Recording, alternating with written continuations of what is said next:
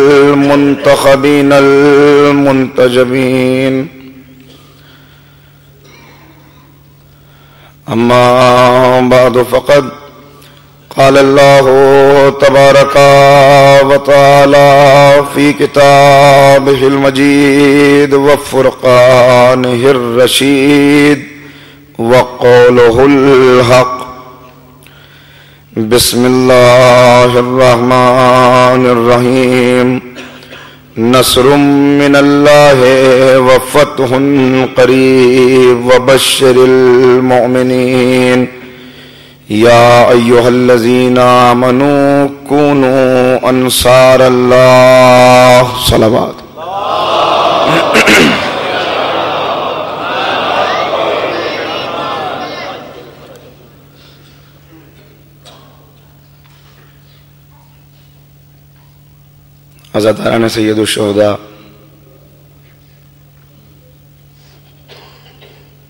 जिस आय करीमा को मैंने तिलावत किया, उसमें मोमिन को एक खुशखबरी दी जा रही है कि अल्लाह की नुसरत और फतह करीब है और एक पैगाम दिया जा रहा है कि अय ईमान लाने वालों, अल्लाह की मदद करो, अल्लाह की नुसरत करो।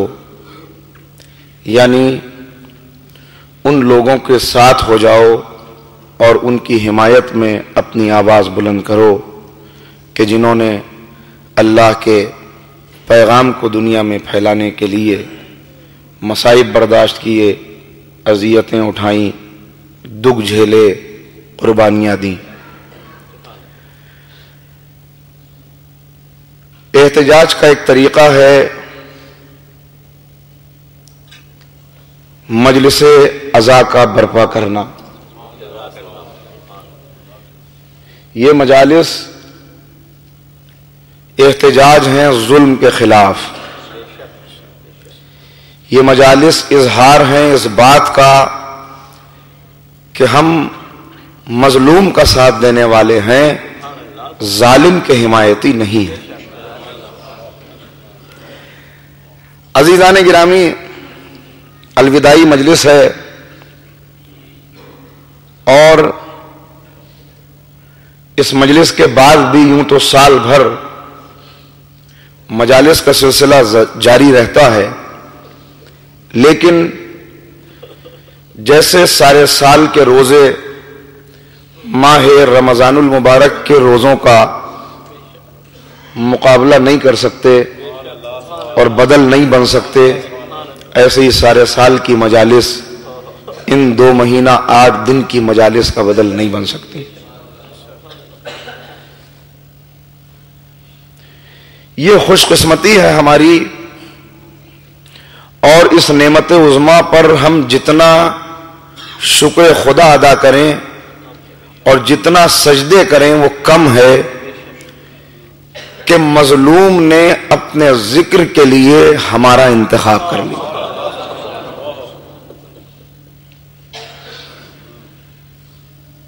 अजीजो,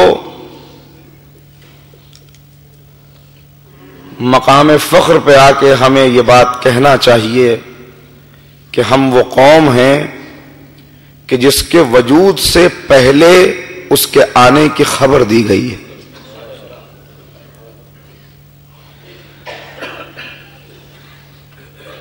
रसूलों के सरदार का वादा है अपनी इसमत माँ बेटी से कि जब खबर शहादत दी जा रही है तो नहीं पूछती शहजादी। कौन होगा जो मेरे लाल के गले से खंजर को हटा लेगा? कौन होगा जो आते हुए नेजों को रोक लेगा? कौन होगा जो बढ़ती हुई बर्छियों को अपने सीने पर रोक के मेरे लाल की जान की हिफाजत करेगा। मतलब यह है, बाबा, अगर राह खुदा में मेरे हुसैन की जान चाहिए तो मेरे हज़ारों हुसैन कुर्बान हैं अल्लाह के दीन पर। बाबा, अगर शहादत के बगैर अल्लाह का पैगाम नहीं बचता तो मैं राज़ी हूँ शहादत पर। मगर बस इतना बता दीजिए, मेरे मजलूम का मातम कौन करेगा?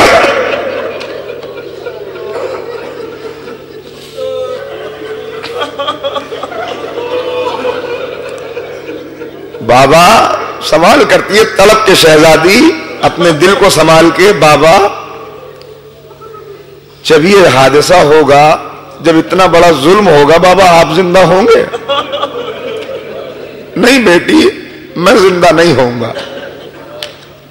बाबा, अबल हसन होंगे, नहीं अली भी नहीं होंगे।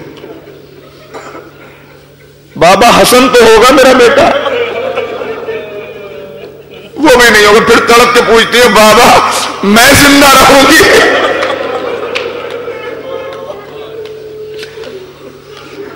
शहादत पे मैं राज़ी हूँ, मगर जब कोई नहीं होगा पंजतन में से, मेरा हुसैन तने तनहा होगा तो बाबा शहादत तो गुजर जाएगी, एक जंगल के अंदर, एक सहरा के अंदर, मगर मातम करने वाला कौन होगा?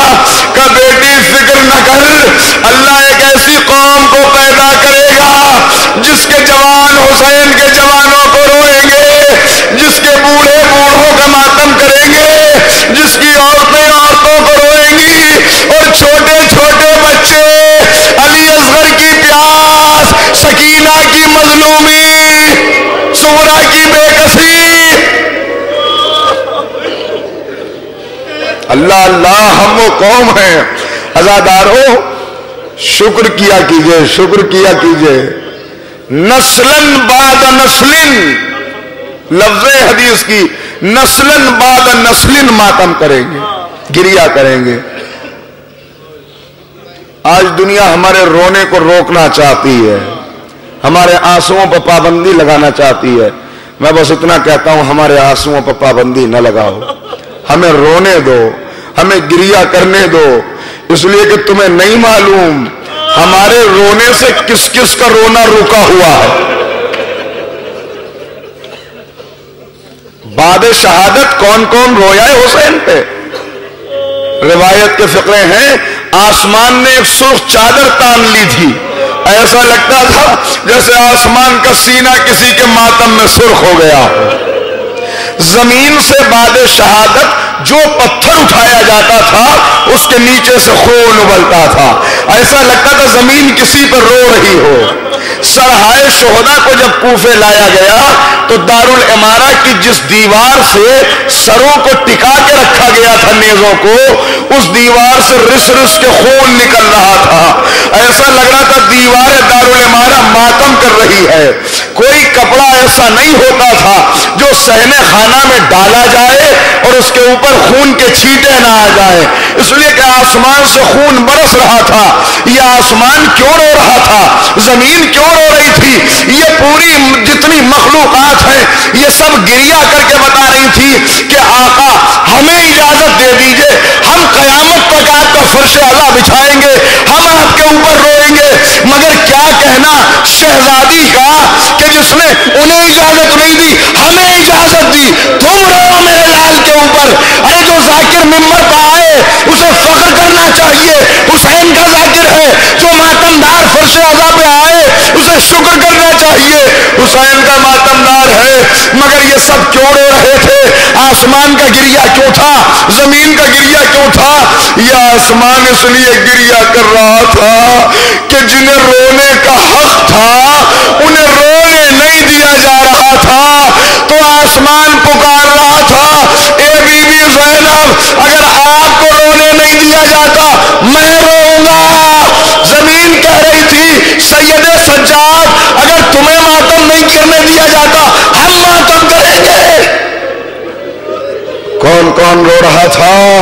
अल्लाह अल्लाह, बीबी उम्म सलमा रिवायत करती है कि मैंने असर आशूर का वक्त था, मैं सो गई तो मैंने ख्वाब में देखा, रसूल खुदा तशरीफ़ लाए हैं, सर पे खाक पड़ी है, आस्तीनें उल्टी है, गिरेबान चाक है रीश मुबारक पर किसी का खून है, अरे मैं मैंने पूछा, अल्लाह के रसूल, ये क्या सूरज बनाई है?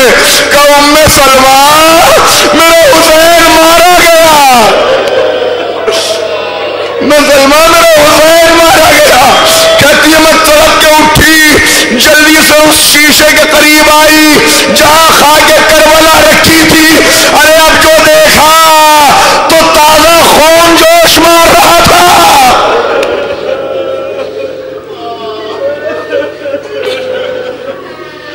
हाँ रुक रुक के पढ़ूँगा, अजादारो आखिरी मजलिस है। ये आखिरी सलाम है। ये उस शहजादी की आखिरी मेहमानी है कि जो दो महीना आठ दिन से मेहमान थी। अरे, जब मेहमान जाने लगता है, हाथों को जोड़ के कहा जाता है, ए बीबी, हमसे हक अदा ना हुआ, हम रो न सके, हमसे मातम न हो सका। बीबी, अगर कोई कमी रह गई, माफ़ कर दीजिएगा। बीबी जा रही है जन्नत की शहजादी, आप जा रही है। बीबी मगर इतना वादा करके जाइए, आइंदा साल फिर आएँगी। ए बीबी हम सबके लिए दुआ कर दीजिए बीबी कि हम सब अगले साल फिर हुसैन का मातम कर सके। और ए बीबी अगर अगले साल तक ज़िंदा न रहे तो इतनी इजाज़त दिलवा दीजिएगा कि हमारी रूहें पर से अदा पे आए।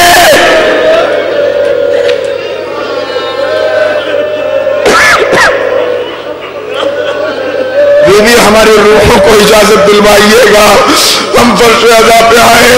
ए बीवी हम गुनेगार हैं। मगर जैसे भी है, आपके बेटे के मातमदार हैं बीवी, अरे वादा कर लीजिए, आखिरत में हमारी शफात करेंगी। बीवी, हमें भूल न जाइएगा। गुनाह बहुत है, मगर दिल में हुसैन की मोहब्बत है। आँखों में हुसैन के आँसू है। ए बीवी, इतना वादा कर लीजिए, जब मौत की सख्ती होगी तो हमारी आँखों में कोई आँसू न होगा। मगर हुसैन के गम का आँसू। ए बीवी, हम किसी को न पुकारेंगे मगर वक्त आखिरत भी आवाज़ देंगे। हुसैन, गरीब जहरा, मजलूम नैनवा।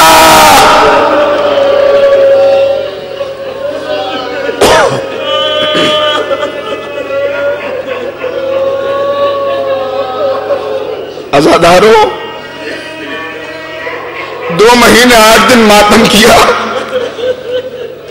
और दो महीने आठ दिन के बाद ये साल भर से भी कम की जुदाई है, जो आपको इतना तड़पा रही है।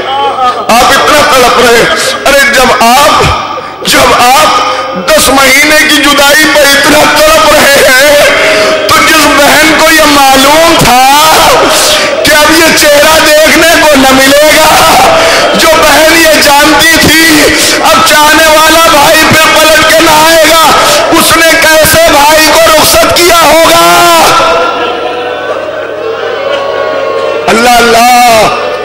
हुसैन खेमे में आए तो जानते हैं हाल क्या था।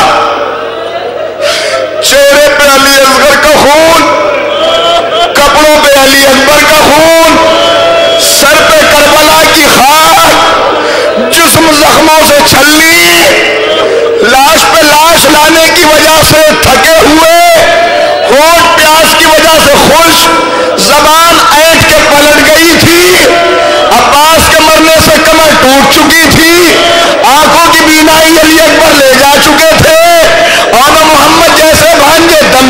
चुके थे। कासिम जैसा नाजमीन घोड़ों की टापों से पामाल हो चुका था और हुसैन खड़े कह रहे थे, रुकैया मेरा सलाम, जैनब मेरा सलाम, कुलसूम मेरा सलाम, ऐ अम्मा की जगह हमारी खिदमत करने वाली, सरपरस्ती करने वाली, ऐ हमारी अम्मा की तरफ़ से नुमाइंदा बन के अम्मा फिजा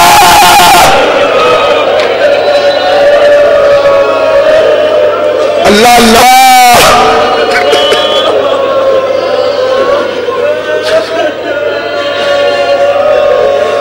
सबने तो सलाम सुन लिया, मगर एक ऐसा था जिसे सलाम का पता न चला, इसलिए कि रश के अंदर पड़ा हुआ था। हुसैन आए जैनब ने शाना हिलाया सैयद सज्जाद गश से बेदार हुए। का बेटा, बाबा आया है रुखसत के लिए। बेटा, बाबा खड़े हुए। सैयद सज्जाद देखते बाबा कहा है? फूफी अम्मा बाबा कहा है? और ये आपके साथ कौन बुज़ुर्ग खड़े हुए हैं? सज्जाद पहचाना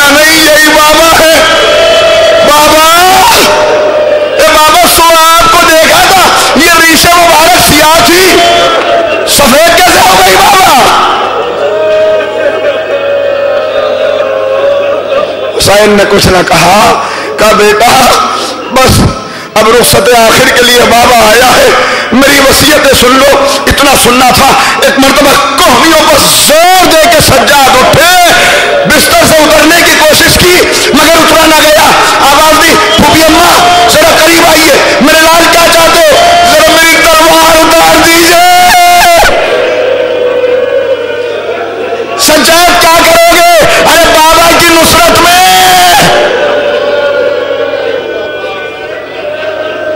जजाक अल्लाह जजाक अल्लाह इन आवाजों पर अल्लाह अपनी रहमत नाजिल करे। आहिस्ता आहिस्ता सुनिए, मैं इतमान से पढ़ूँगा अभी।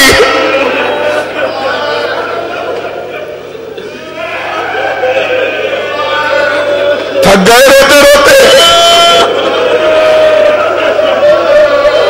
जब रोते रोते थकने लगो तो इतना ख्याल रखना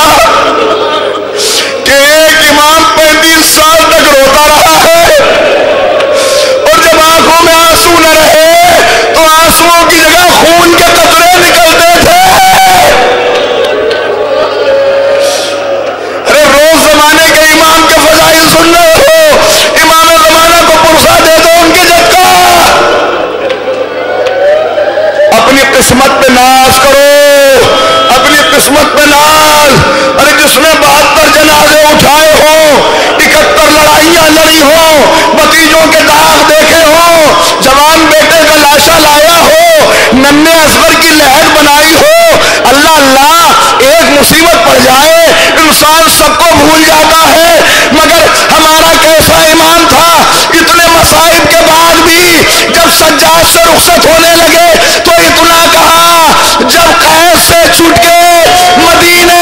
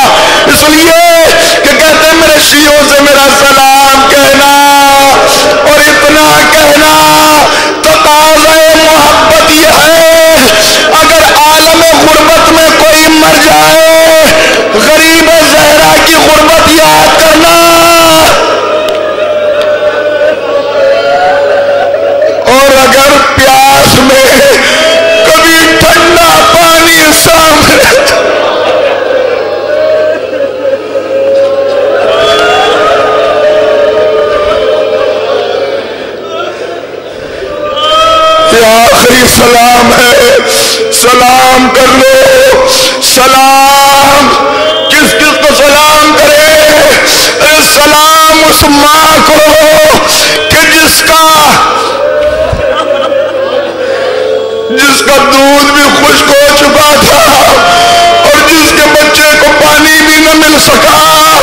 सलाम उस बेवा माँ को कि जिसकी बेवगी का सहारा ज़मीन करबला में खाक हो गया। अरे सलाम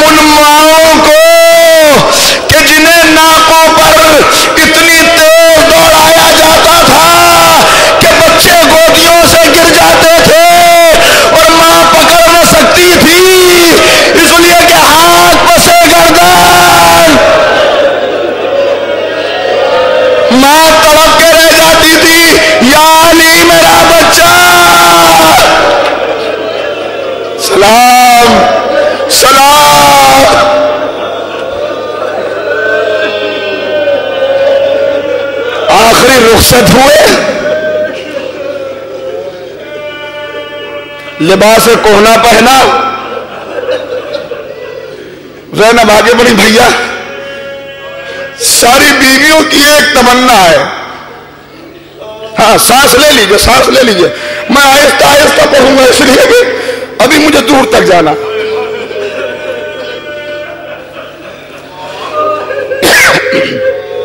भैया सारी बीवियों की एक तमन्ना। क्या ये सब चाहती है कि ये हल्का बना ले और आप उस हल्के से गुजर जाइए? अच्छा बहन, तुम तो माँ की जगह हो जो तुम्हारा हुक्म। हुसैन दरमियान में खड़े हुए बीवियों ने हल्का किया अली की बेटियों ने बाहें डाली कोई कहती थी हाय सैयद हाय मजलूम अरे तुम्हारे बाद हमारा क्या होगा हुसैन ने सर से अमामा उतारा पालने वाले इन्हें सब्र दे दे हल्का टूटा हुसैन निकले जैनब ने पुकारा भैया रुकना रुकना भाई, एक काम रह गया। भैया, एक काम रह गया। आगे बड़ी करीब आई, बहन, क्या हुआ?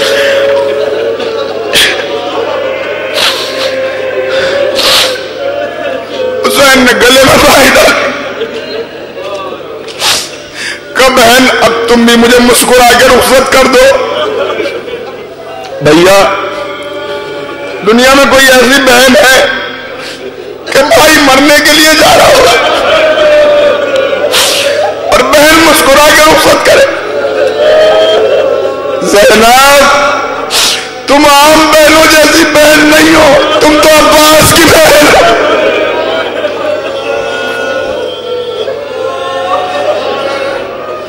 अच्छा भैया गले से रुमाल हटाओ।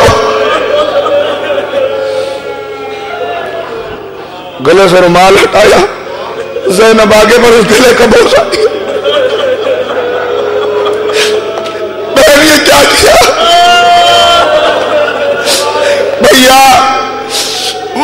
आखिर अम्मा ने कहा था जब हुसैन रुखसत होने लगे, मेरी तरफ़ से गले का बोझा। अच्छा है, जरा बाजुओं से रिदा हटा रिदा हटी बाजुओं का बोसा लिया बहन ये क्या? बहन, बाबा ने कहा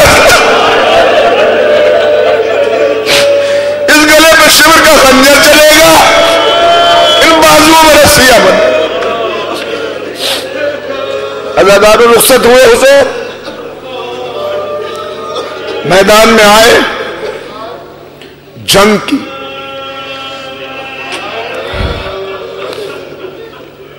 खबीर लखनवी, मौला का मरसिया लिख रहे आशूर का मंजर पेश नज़र है, मसाइब के बंद चल रहे तस्वुर कर रहे कैसे मेरा आका लड़ा होगा? सोच रहे किस तरह से इतने दाग लेकर, इतने जख्म लेकर, तीन दिन का प्यासा, जिसे सोलह पहर से सोना नसीब ना हुआ हो। जंग करते करते ख्याल आया हाँ हुसैन ने एक निदाय गैबी के बाद तलवार रोक ली थी। तो एक मरतबा लिखना शुरू किया, लिखना शुरू किया। जख्मों पर जख्म खा चुके, बस ए हुसैन, बस। लिखा हाँ ये निदाय गैबी आई थी, लिखा। अगला मिसरा, लगे इसके बाद क्या लिखो? बड़ा गौर फ़िक्र कर रहे हैं, जख्मों पर जख्म खा चुके, बस ए हुसैन, बस। लाशों पे लाश ला चुके। बस हुसैन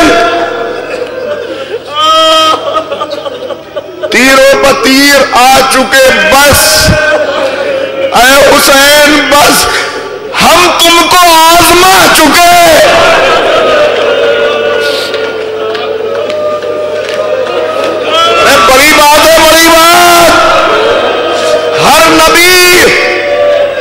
जब मुसीबतें बहुत बढ़ जाती थी अयूब ने कहा, मालिक, बस, इससे ज़्यादा इम्तहान नहीं दे सकता।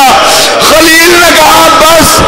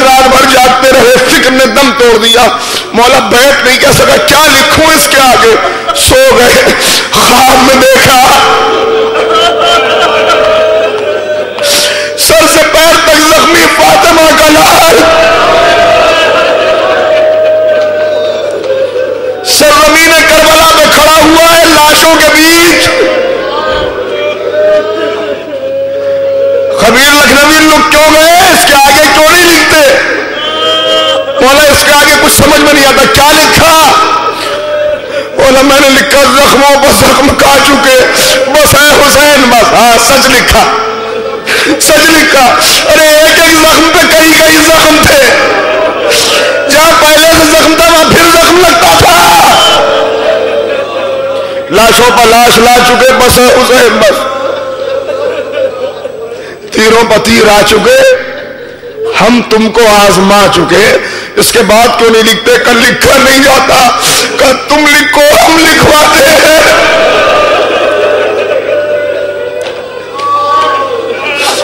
हम तुमको आजमा चुके बस। आए हुसैन बस, सर को झुका दो। सर को झुका दो, खंजर बेदाग के लिए कुछ इम्तिहान छोड़ दो, सज्जाद के लिए।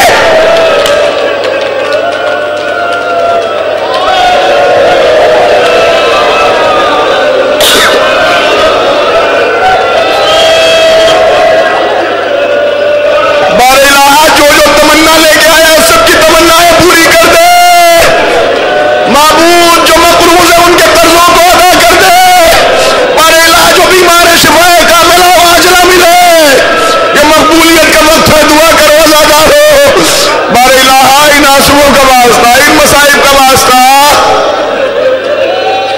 कुछ इम्तहान छोड़ दो। सज्जा के लिए अल्लाह अल्लाह।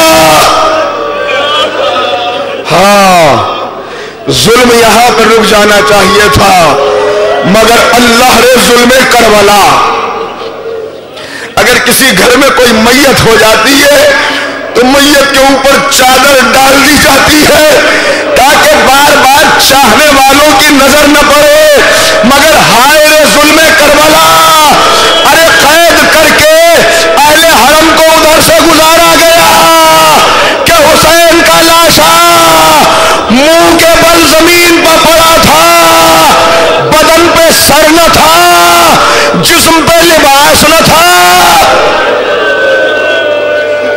हाँ रोज अदा आखिरी मातम है। बस दो तीन मिनट और। दो तीन मिनट और। आखिरी मातम है। अरे, कोई क्या रोएगा उसके लिए? कोई क्या उसका मातम करेगा? जानवर के लिए हुक्म है, जब जिबा करो तो छुरी तेज हो हाथ तेज चलाओ सामने से जल्दी ताकि रगे हयात कर जाए तकलीफ़ न हो मगर हाय सैयद सज्जाद हमेशा रोते रहे ए बाबा जानवर जिबा किया जाता है, पानी दिखाया जाता है, छुरी जल्दी चलाई जाती है, मगर हाय मेरा मजलूम बाबा, पसे गर्दन से छुरी चली अरे कैसी छुरी? कुंद खंजर, रुक रुक के खंजर चलता था, ज़मीन हिलती थी जहरा की आवाज़ आती थी।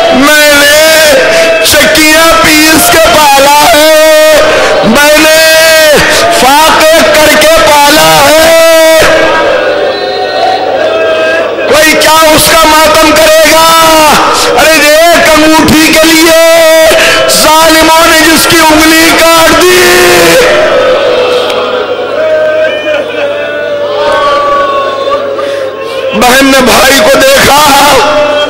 आँखों में आँसू आए, भैया भैया, तेरे इम्तहान तो खत्म हो गए मेरे माँ जाए मगर अब जैनब का इम्तहान शुरू हुआ। भाई, तुमने इकहत्तर लड़ाइयाँ लड़ी। मैंने हर लड़ाई पे दादे शुजात दी। हौसला बनाया। भाई, मेरा हौसला बनाते रहना। मेरे लिए भी दुआ कर देना। जैनब भी कामयाब रहे। एक लश्कर तुम लेके आए थे। एक लश्कर मैं लेके जा रही हूँ।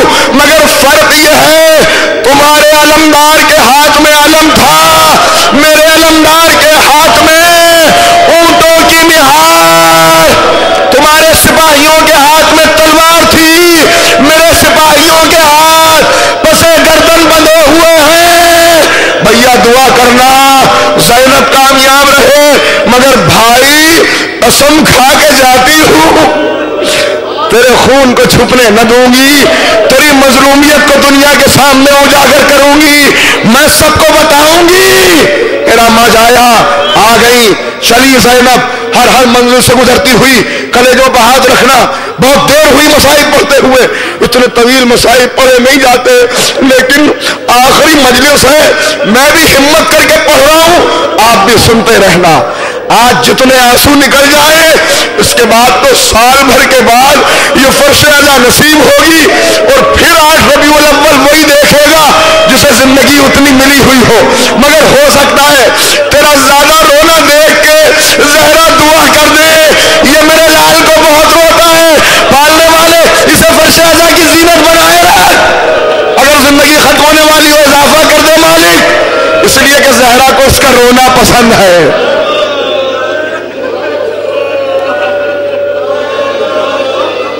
बड़ी सख्त मंजिलें थी, जहाँ से जैनब गुजरी। बड़े सख्त इम्तहान थे जो शहजादी ने दिए।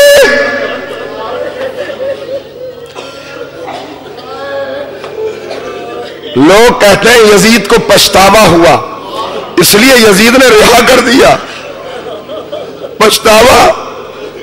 पछतावा नहीं था, बल्कि जब कैदी कैद खाने में पहुँच गए जब अहले हरम असीर हो गए तो शाम की औरतों ने कहा, चलो जरा चल के देखें तो सही, ये कैसे कैदी है? शाम की औरतें देखने के लिए आई, अब जो आई, देखा सलाखों के पीछे एक नन्ही सी मासूमा बैठी है, जिसकी आँख में, जिसकी आँख में सकीना के हिस्से का आँसू हो। शर्म करके न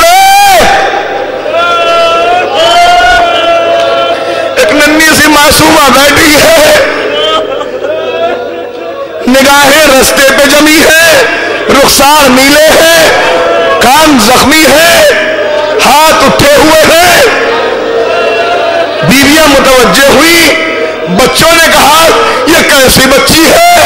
बीवियाँ करीब आई। ए बच्ची, तुम कौन हो यह काफिला कहाँ से आया है सकीना ने सुना, पहली मरतबा किसी ने शफकत से गुफ्तगु की है। कोई पूछ रहा है कि तुम कौन हो? एक मर्तबा मासूमियत के लहजे में अपनी मीठी जबान में बोलना शुरू किया। हम मदीने के रहने वाले हैं। मदीने में हमारा बड़ा मकाम था, बड़ा मरतबा था। लोग हमारे यहाँ आते थे। मेरे वतन छोड़ना पड़ा। हम करबला पहुँच गए। मेरा एक चचा था, मुझे गोद में लेता था। मेरा एक बाबा था, मुझे खजूरें खिलाता था। मेरा एक बाबा था, मुझे गोशवारे पहनाए। तड़प गई। अरे तेरे चचा को क्या हुआ? तेरा बाबा कहाँ चला गया? कहा, अरे इतना ही नहीं, मेरा एक भैया अली अकबर भी था। रिसालत की तस्वीर। बीवियों ने पूछना शुरू किया, ये सब कहा चले गए? कहा, अरे क्या बताए, अपनी मजलूमियत का क्या बयान करें? हम नहर के किनारे थे मगर प्यासे रह गए। हमारी प्यास चचा से देखी न गई। पानी लेने गए थे, मगर वापस ना आए। खाली अलम लौट आया, मेरा चचा ना आया। भैया वादा करके गया था, सकीना वापस आएँगे, वापस ना आया। अरे बाबा ने बीबियाँ अपने घरों को गई। कहानी मशहूर हुई। सब जगह पता चला, एक नन्ही सी बच्ची है, उसके लहजे में बड़ा दर्द है। वो जब कहानी सुनाती है, पत्थरों के कलेजे भी फट जाते हैं। न रोने वाला भी रोने लगता है। और औरतों ने आना शुरू किया। दूर दूर से बीबियाँ आती थी। सकीना रोज कहानी सुनाती थी। रोज तस्करा करती थी। एक दिन जो बीबी आई, देखा सलाखों के पीछे कोई नहीं। आवाज़ दी। यतीम हुसैन हम आ गए बीबी ज़िक्र करबला कर कोई ना आया जंजीरों के हिलने की आवाज़ हुई एक कैदी गले में तो हाथों में हथकड़ियाँ सलाखों को पकड़ के खड़ा हुआ बीवियों वापस चली जाओ अरे वो बच्ची कहाँ गई कि वो बच्ची जन्नत को सिधार गई कैद खाने में उसकी कब्र बन गई औरतें अपने घरों को वापस आई अपने सरों से रिदाएँ उतारी अपने मर्दों से कहा तुम चादरें ओढ़ लो अपनी तलवारें हमें दे दो फातिमा की पोती मजलूमियत में मारी गई तुम्हारी गैरत नहीं जागती यजीद को पता चला इनकलाब बपा होने वाला है सैयद सज्जाद को बुलाया। जैनब को पता चला सज्जाद को बुलाया जा रहा है। गले में बाहें डाल दी मैं न जाने दूँगी। का फूफी अम्मा, सब्र कीजिए, मुझे जाने दीजिए। सज्जाद आए तो क्या देखा? अरे, कहाँ से लफ्जे लाऊ, कैसे सुनाऊ? खुदा किसी बेटे को यह मंजर न दिखाए। सज्जाद ने देखा एक तरफ़ कटा हुआ सर रखा था, दूसरी तरफ़ हीरे जवाहरात का थाल रखा हुआ था। सैयद सज्जाद, अपने बाबा का खूब बहा ले लो। हमने तुम्हें रिहा कर दिया, जहाँ चाहे चले जाओ, सज्जाद ने चीख मारी।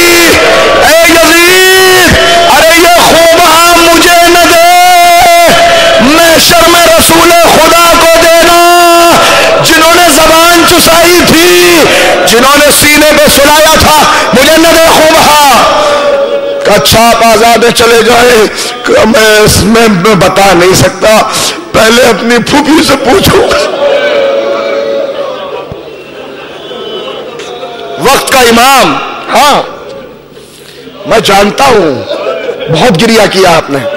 खुदा सलामत रखे आपको।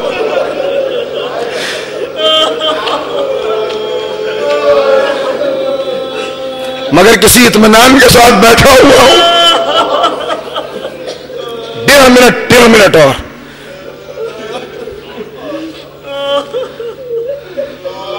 अजीब गरीब फ़िक्र आए, कैसे अदा करूँ कि जब सैयद सज्जाद वापस आए और जैनब ने बगैर तोक और हथकड़ी के अपने बेटे को देखा तो जैनब को गश आ गया।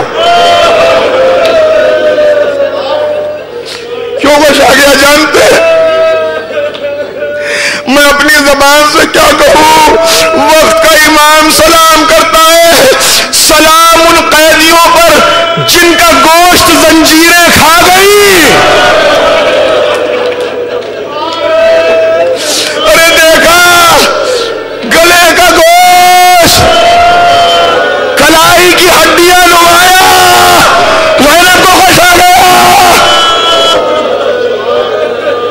इफाका हुआ कफूबी अम्मा, हमें आज़ाद कर दिया गया आपका क्या हुक्म है?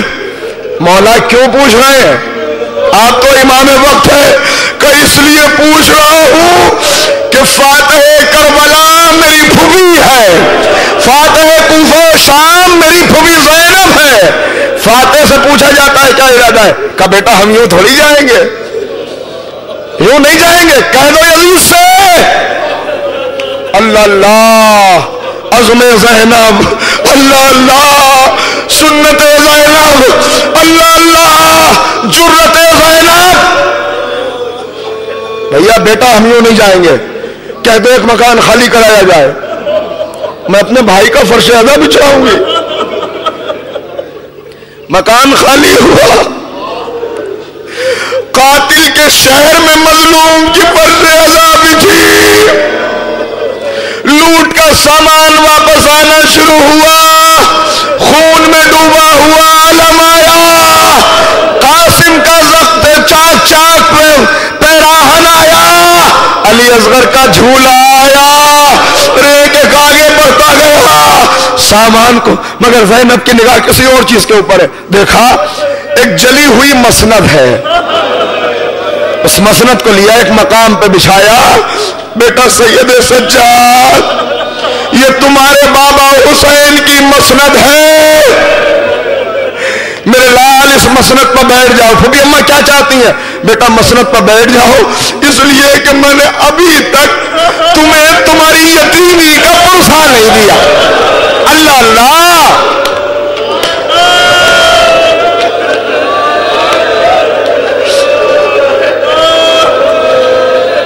तुम्हारी यतीमी का पुरसा दूँगी सैयद सज्जाद मसरत पर बैठे, जैनब दो जानू हो के बैठी। सज्जाद गरीब जहरा का पुरसा ले, सज्जाद उसका पुरसा ले लो, कि जिसे तीस रोज का प्यासा। मजलिस हुई, गिरिया हुआ, कई दिन तक मजलिस होती रही। उसके बाद जैनब ने हुक्म दिया अब हम करबला होके मदीने जाएँगे। आखिरी एक मिनट में सुनो। हम मदीने जाएँगे मगर करबला होके नाके लाए गए, मगर अब नाके खाली न थे। अमारियों के ऊपर रेशमी पर्दे पड़े हुए थे।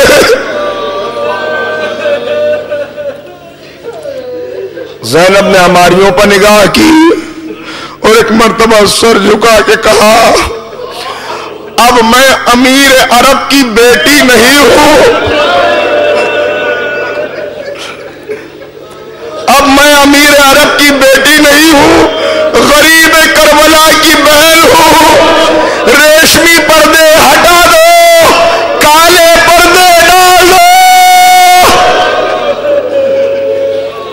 काले पर्दे डाले गए, जैनब खुद खड़ी हुई। एक एक बीबी को सवार कराया। आओ, सवार हो जाओ। सब सवार हो गए, मगर देखा, एक बीबी नज़र नहीं आती।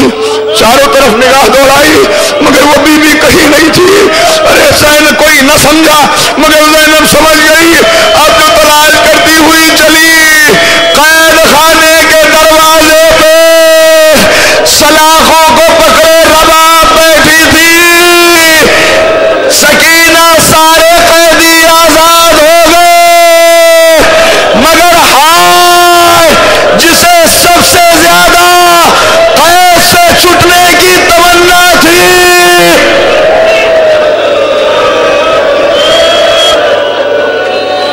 वो बीबी कैद से न छुट सकी सकीना चलो काफिला जा रहा है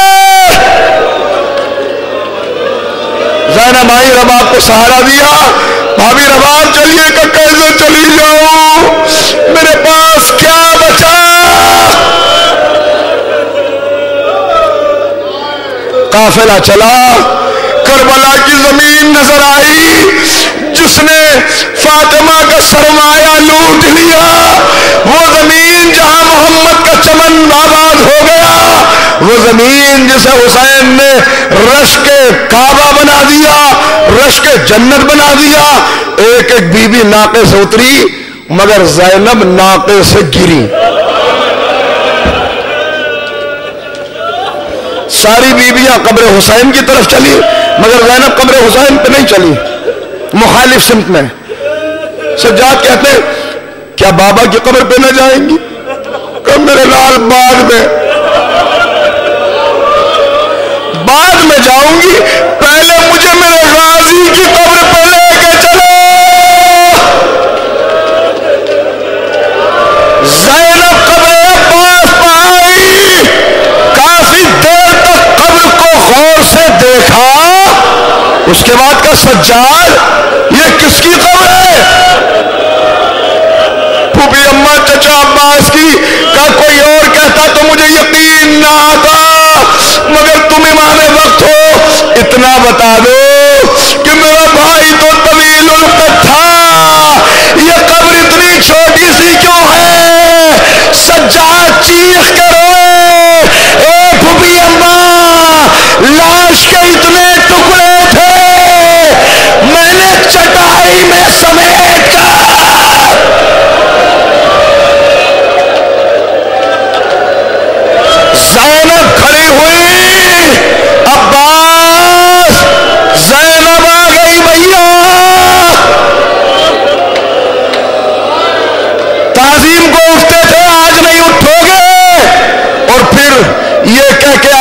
आहिस्ता बैठ गई, भैया अब खड़ा नहीं हुआ जाता, इसलिए कि बहुत खड़ी रही। कभी कूफे के बाज़ार में खड़ी रही, कभी शाम के दरबार में खड़ी रही, बड़ा गिरिया हुआ, बड़ा मातम हुआ। इसके बाद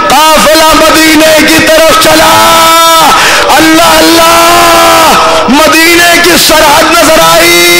अरे अब तक सबने मरसिया कहा था, सब रोए थे, मगर जैसे ही मदीने की सरहद को देखा, अली की छोटी बेटी उम्मे कुलसूम तड़प के बोली ओ मदीने, हमारे आने को कबूल जब गए थे, गोदियाँ भरी थी, मगर हम हुसैन को लोग करबला में छोड़ मदीने आने को कबूल न कर मुनादी ने निदा दी। रोजा रसूल के ऊपर हजूम हुआ, लोग आने शुरू हुए। आखिरी फिक्रे, लोग आने शुरू हुए। रावी कहता है, सब आ रहे थे पुरसा देने के लिए, कि मैंने देखा एक जईफा सफ़ेद चादर ओढ़े हुए। रोजा रसूल की तरफ़ आई। रोजा रसूल की तरफ़ जाना चाहती है, मगर देखा एक जईफ सीढ़ियों के ऊपर सर झुकाए बैठा है। आगे वही शेख, हट जा, मुझे रास्ता दे। मैं रोजा रसूल पर जाना चाहती हूँ। जईफ ना उठा। दोबारा आवाज़ दी, शेख, सुनता नहीं, रास्ता दे। मैं रोजा रसूल पर जाना चाहती हूँ। जयीफ ना उठा। तो एक मरतबा उन बीवी ने अपना सर उठाया, जानता है मैं कौन हूँ? मैं अली की बेवा हूँ, अब्बास की माँ उम्मुल बनीर हूँ। अरे रास्ता नहीं देता। एक मरतबा ज़मीन का सहारा लेके वो जयीफ खड़ा हुआ। कहे, दादी, किसे रास्ते से हटा रही हो? मैं सैयद सज्जाद